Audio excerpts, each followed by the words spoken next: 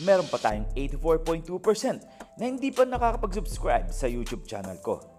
Bagong lahat, huwag nating kakalimutan na mag-subscribe and click the bell para ma-receive ninyo lahat ang aking notification.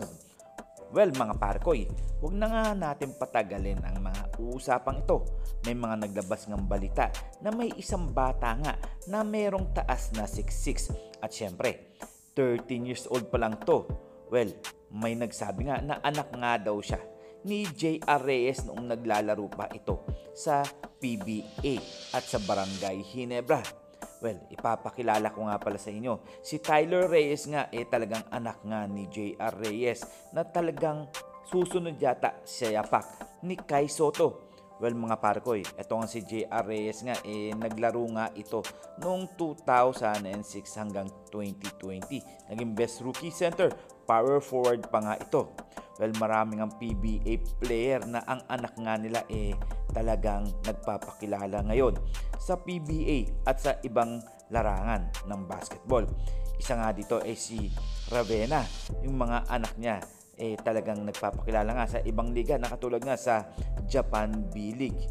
Kung pag-uusapan natin ang mga taas nito eh talagang nakakahanga nga nakatulad nga neto ni Japet Aguilar Well, kung nalalaman nyo, ang ama nga nito ay naglaro din nga sa Barangay Hinebra.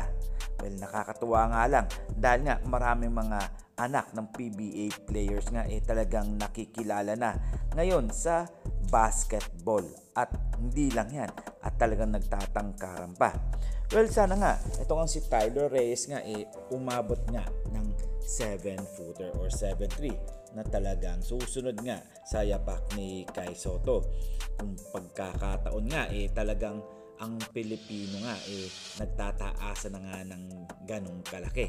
Well, malaki maitutulong nito at kung maipapractice nga ito sa Amerika eh talagang tutuloy-tuloy ang pagtangkad nito at pagdating sa laro o sa loob eh malaki maitutulong nito Who knows, baka eto nga si Tyler Reyes nga, eh, malaki maitulong nito sa PBA o sa ibang bansa. ba diba, mga parkoy?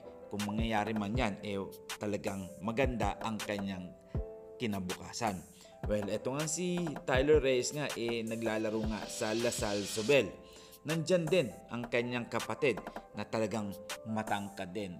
Ito nga lang, eh, isang babae. Di ba mga pare ko? Eh, well, tignan lang natin kung ano ba ang mangyayari sa susunod na mga liga na papasukan na itong bata na to.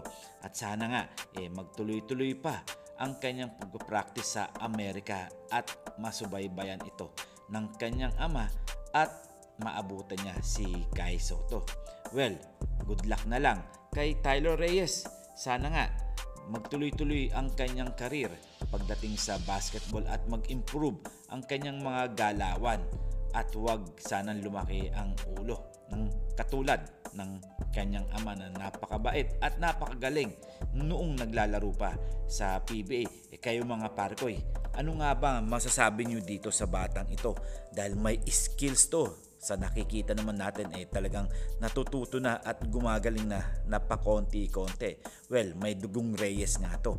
Kaya malalaman natin bahalang araw kung gaano siya kagaling. And this is Tondo Boy Vlogs. I'm out. God bless you all.